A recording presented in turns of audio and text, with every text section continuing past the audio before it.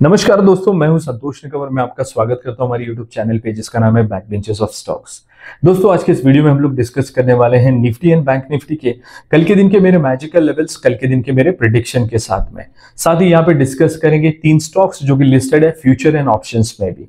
दोस्तों, इस वीडियो में हम लोग जो भी डिस्कशन करने वाले हैं, पूरा का पूरा जो है, वो हमारे सिर्फ़ और सिर्फ़ एजुकेशनल पर्पज के लिए है। मैं इसमें से कोई भी स्क्रिप्ट को या फिर स्टॉक को या फिर इंडेक्स के किसी भी लेवल पे आप लोगों को रिकमेंड नहीं करूँगा ट्रेड करने के लिए। इन्हें सिर्फ़ और सिर्फ़ आप लोग जो है, अपने एजुकेशनल पर्पज के लिए यूज़ करिएगा। और मैं सेबी रजिस्टर रिसर्च एनालिस्ट नहीं हूँ। और आप लोग कोई भी इन्वेस्टमेंट करने से पहले अपने फाइनेंशियल एडवाइजर की सलाह जो है, वो ज़रूर लीजिए। तो आइए यहाँ पे शुरुआत करते हैं हमारे आज के इस एजुकेशनल वीडियो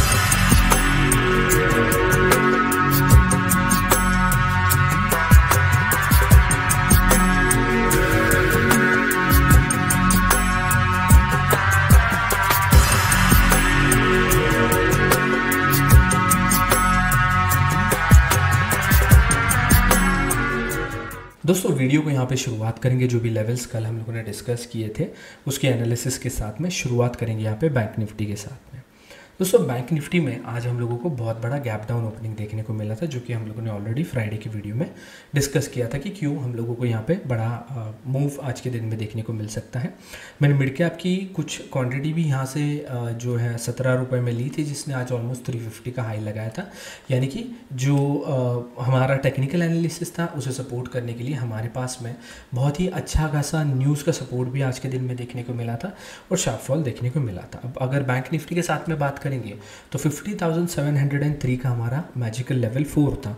हर वीडियो में हम लोग डिस्कस करते हैं कि लेवल फोर जो होता है निफ्टी बैंक निफ्टी के साथ में वो एक बहुत अच्छे सपोर्ट के तौर पे काम करता है और एक रिवर्सल का अपॉर्चुनिटी हम लोगों को यहाँ पे देखने को मिलता है। आज दोनों ही इंडेक्स में लेवल फोर का जो हमारा लेवल था यहाँ पे पहली पाँच मिनट की कैंडल पे रिजेक्शन देखने को मिला था। एंड देन उसके बाद में काफ़ी शार्प फॉल आज हमें मार्केट में देखने को मिला था। निफ्टी ने भी मॉर्निंग में फॉल दिखाया था, थोड़ा सा हम लोगों को दिखा रहा था कि मार्केट रिकवर हो रहा है, लेकिन इस लेवल को ब्रेकआउट नहीं दे पाया था रेजिस्टेंस क्रिएट हुआ था मैजिकल लेवल फोर को, और यहाँ से काफ़ी एक शानदार फॉल हमें देखने को मिला था। पी साइड में बहुत अच्छे प्रॉफिट्स आज हमें देखने को मिले थे। यानी कि दोस्तों, इन लेवल्स के साथ में हमारी जो एक्यूरेसी है वो बरकरार है, और मेरी कोशिश रहेगी इसे ऐसे ही मेंटेन रखने की।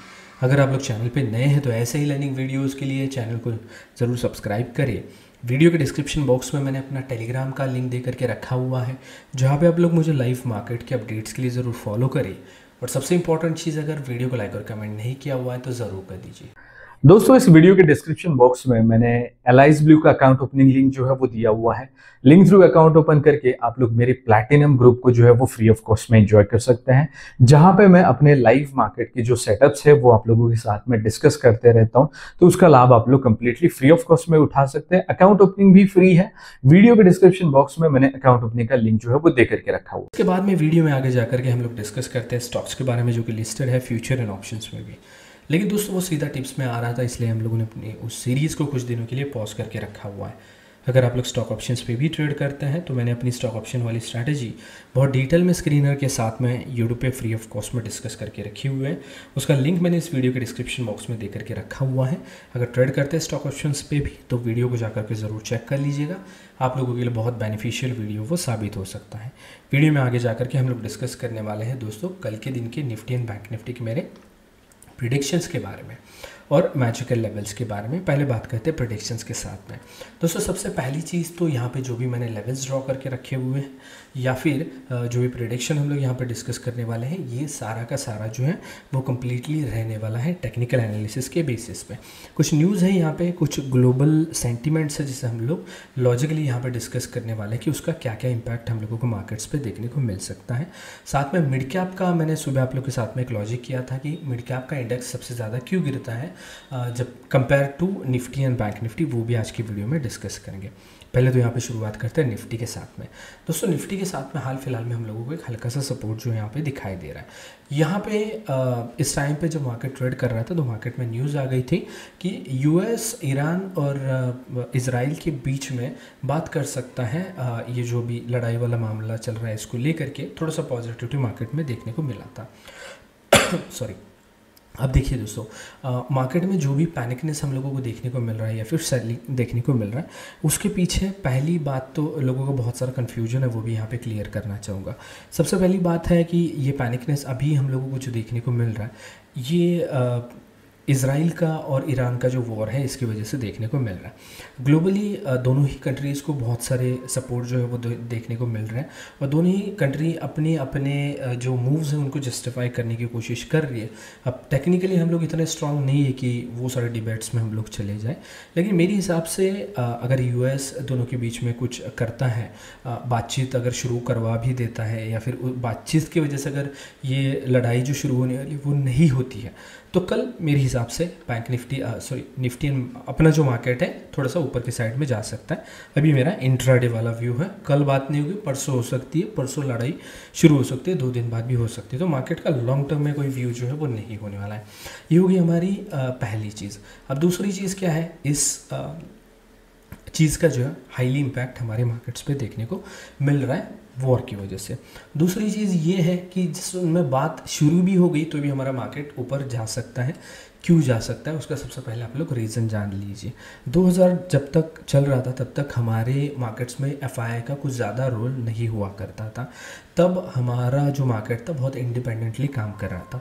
पिछले तीन सालों से भी अगर आप लोग देख रहे रहोगे तो मार्केट से एफ़ का जो भी आप लोग डेली डेटा देखते हो, उसमें भी आप लोगों को दिखा रहेगा कि एफ़ का जो है कंटिन्यूसली सेलिंग दिखाई दे रहा है और लेकिन वो तीन हज़ार का भी शॉर्ट सेलिंग करते हैं, तीन हज़ार करोड़ का तो हमारी डी आई उतना बाइक कर रही है। इसका मतलब ये है कि एफआई अपनी मार्केट हमारी मार्केट से ऑलरेडी पैसा जो है वो विड्रॉ कर रही है और हमारे जो डी हैं, हमारे जो इंस्टीट्यूशंस हैं, वो इतने पावरफुल हैं कि वो लगातार तीन साल से बाइंग कर रहे हैं।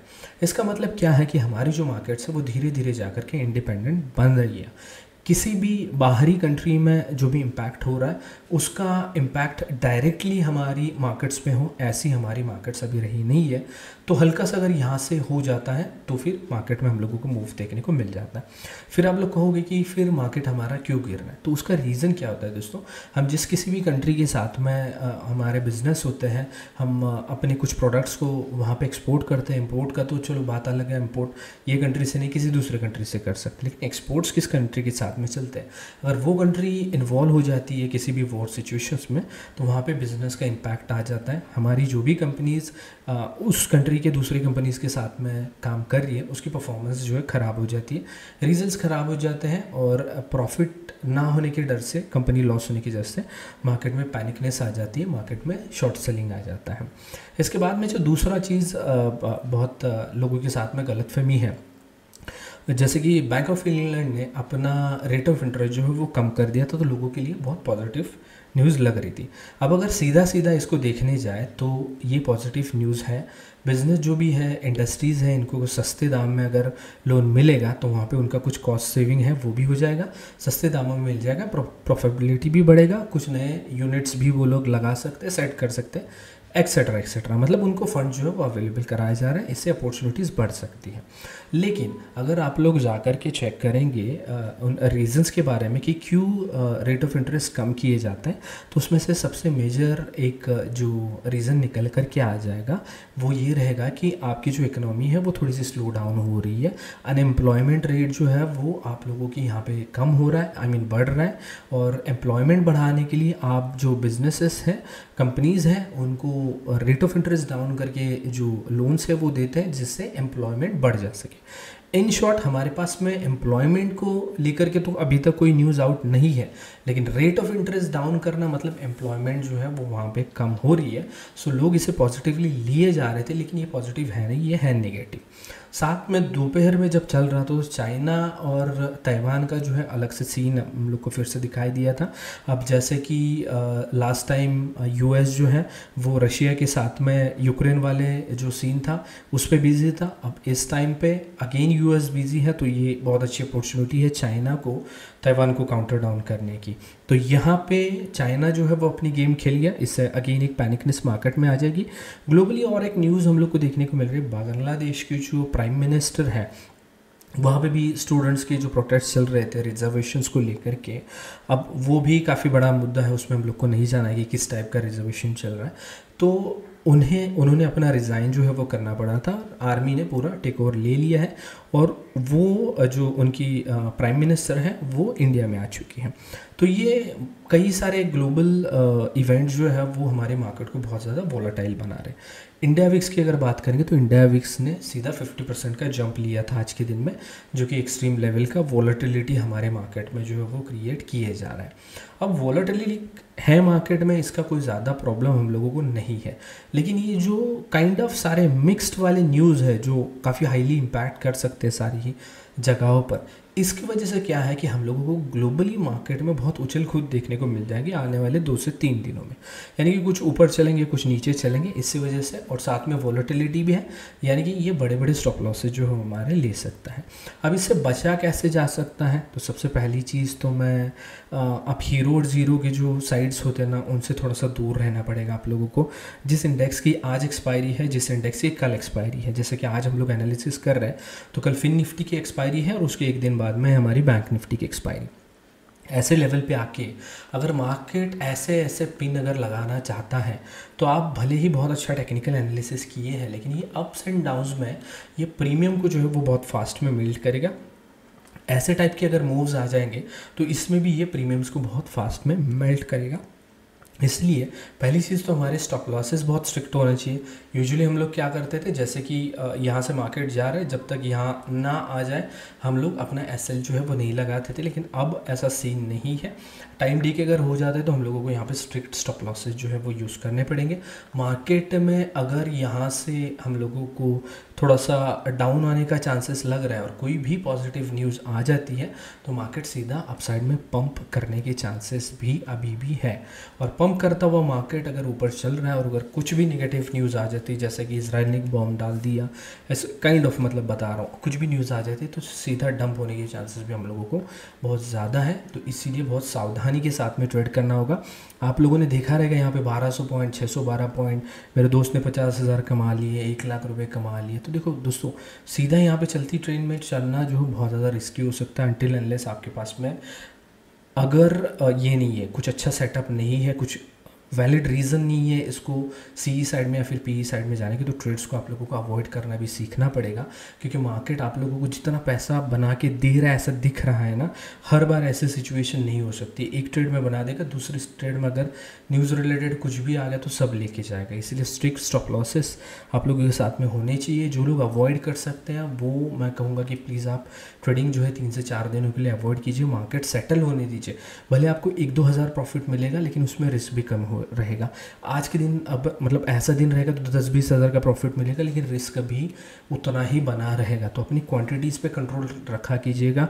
हीरो ज़ीरो पे अभी फ़िलहाल के लिए भरोसा मत कीजिए, क्योंकि हीरो ज़ीरो का डेटा मैंने बोलने की ज़रूरत नहीं है। सभी की वेबसाइट पर जा के देख लीजिए कितना उसमें प्रॉफिट बनता है, आपको पता है। कुछ समझदारी वाली चीज़ें रहती है जो अपने आप को हम लोगों को अपने सेल्फ एनालिसिस से सीख लेनी चाहिए कि आपने कितने बार हीरो ज़ीरो का ट्रेड लिया था कितने बार सक्सेस मिला है। तो कुछ सेल्फ एनालिसिस होता है, वो भी आप लोगों को करना पड़ेगा। अभी फ़िलहाल के लिए सारे ग्लोबल सेंटिमेंट्स मैंने आप लोगों के साथ में यहाँ पे डिस्कस किए हैं और इन ग्लोबल सेंटिमेंट्स के हिसाब से मार्केट अभी फ़िलहाल के लिए नेगेटिव है और अगर सेम चलता रहा अभी यूएस मार्केट्स वगैरह, वो जो है उनका प्रॉपर कंप्लीट डेटा हमारे पास में नहीं है। एटलीस्ट मार्केट्स ओपन होने के बाद में दो तीन घंटा अगर हम लोग थोड़ा सा टाइम स्पेंड कर लेते तो बाइंग सेलिंग कितनी आ रही वो हिसाब से कुछ प्रिडिक्ट कर सकते। तो वो तो हमारे पास में नहीं आया, लेकिन एशियन मार्केट्स हमारे सारे ही आज के दिन में नेगेटिव में क्लोज जो है, वो होते हुए हम लोगों को दिखाई दे रहे उस हिसाब से निफ्टी में भी नेगेटिव ट्रेंड एक्सपेक्टेड है कल के दिन में। Twenty three thousand nine hundred का यहाँ पे मैं लेवल मार्क करके चलूँगा। अब अगर कल बहुत ज़्यादा गैप अप और गैप डाउन होता है तो ये दो मेजर लेवल्स काम नहीं करेंगे लेकिन बाकी के लेवल्स आपके चार्ट पे होने चाहिए क्योंकि वो सपोर्ट एंड रेजिस्टेंस का काम करेंगे। 23,755, 23,591, 23,406 और 23,265 यहाँ पे हमारे डाउन साइड के लेवल्स रहेंगे। तो 24,030 के ऊपर निफ्टी यहाँ पे बुलिश हो सकती है। 24,192, 24,352, 24,595 और 24,802 यहाँ पे हमारे अपसाइड के लेवल्स रहेंगे। दोस्तों, इस वीडियो में जो भी स्टॉक्स और इंडेक्स के जो भी लेवल्स हम लोगों ने एजुकेशनल पर्पज के लिए डिस्कशन किए हुए हैं, इसको अगर आप लोगों को लाइव मार्केट में पेपर ट्रेडिंग के लिए टेस्ट करना है तो सबसे बेहतर टाइम फ्रेम मैं यूज़ करता हूँ अपनी पर्सनल ट्रेडिंग के लिए, वो है पाँच मिनट के टाइम फ्रेम यहाँ पे जो भी हम लोगों ने लेवल डिस्कस किया है कि इस लेवल के ऊपर बैंक निफ्टी मुझे बुलिश लग रही है। अब ऑब्वियसली चीज़ है, ये मेरा पर्सनल व्यू है, इस पे ट्रेड करना मैं आप लोगों को रिकमेंड नहीं कर रहा हूँ। लेकिन अगर आप लोग पेपर ट्रेडिंग के लिए इसे यूज़ कर रहे हैं तो पाँच मिनट की जो हम लोगों की यहाँ पे कैंडल है, वो इस लेवल के ऊपर क्लोजिंग जो है वो देना बहुत ही ज़्यादा ज़रूरी है। जब नेक्स्ट कैंडल उसका हाई ब्रेक करेगी, तब हम लोग उसे कंसिडर जो है वो कर सकते हैं।